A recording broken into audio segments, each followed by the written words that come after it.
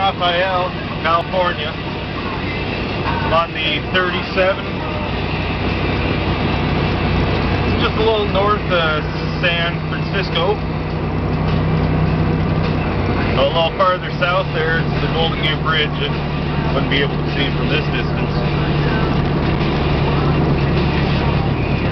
Hasn't been a bad day. Finally. Like the weather's starting to break.